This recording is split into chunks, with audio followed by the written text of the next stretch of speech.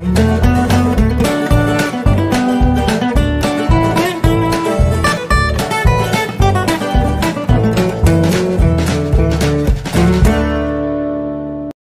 Hello everyone welcome to my channel आज की हमारी रेसिपी है मेथी के पराठे। तो देखिए कितने यम्मी लग रहे हैं।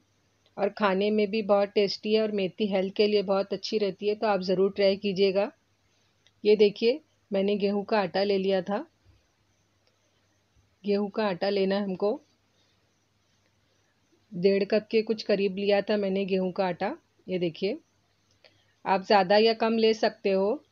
इसमें मैंने पाँच या छः बना लिए थे इतने आटे में। ये बेसन का आटा है। ये देखिए, दो चम्मच ही डालना है। छोटे वाले जो चम्मच आते हैं, वो डालना है हमको। हरी मिर्च और लहसुन लिया था। तीन चार लहसुन मैंने बारीक कट, क्रश कर लिया था और हरी मिर्च को भी बारीक कट कर लिया था। मिर्च अपने टेस्ट के हिसाब से लीजिएगा आप। और मैंने इसमें अजवाइन डाला था। ये देखिए, आधा चम्मच ही अजवाइन डाला है क्रश करके। और नमक भी अपने टेस्ट के हिसाब से डालिएगा। ये देखिए ब्रेकफास्ट के लिए बहुत अच्छी रेसिपी है, आप ज़रूर ट्राई कीजिएगा। नमक आधा चम्मच डाला है मैंने। और लाल मिर्च डालूँगी मैं इसमें। हल्दी डाली आधी चम्मच।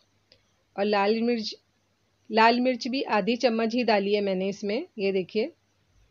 मिर्च अपने टेस्ट के हिसाब से डालिएगा, थोड़ी मैंने हरी मिर्च डाली है, थोड़ी लाल मिर्च डाली है, उस हिसाब से आप डालिएगा, कम या ज़्यादा डाल सकते हो। और अच्छे से पानी डाल के मिक्स कर लेना है। ये मैंने धनिया पाउडर डाला है इसमें, आधा चम्मच। और आधा चम्मच ही ज़ीरा पाउडर डाला था। और मेथी को मैंने अच्छे से धो लिया था, कट कर लिया है बारीक, इसको देखो। बारीक कट कर लिया है, अच्छे से धो लिया था, दो तीन पानी से धो लेना क्योंकि इसमें मिट्टी रहती है और इसका पानी पूरा ड्राई कर लेना हमको। और फिर बारीक कट करके, ज़्यादा भी बारीक मत कट कट करना। वो डाला है इसमें। मैंने कुछ एक एक कप भर के ली थी, ज़्यादा नहीं ली थी, मेथी भी। वो डालिए इसमें और सब मिक्स कर लेंगे और जैसे आटा गूंदते वैसा गूंद लेना हमको। ये देखिए, पानी जितना ज़रूरत पड़ी उतना डाल दीजिएगा।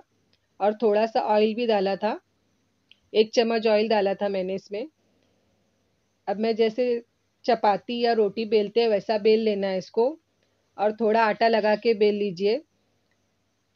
अगर बेलने में आपको प्रॉब्लम आ रही तो आप थोड़ा आटा ज़्यादा लगा सकते हो। फटाफट से बेल के हो जाएगा, ज़्यादा टाइम नहीं जाएगा इसमें।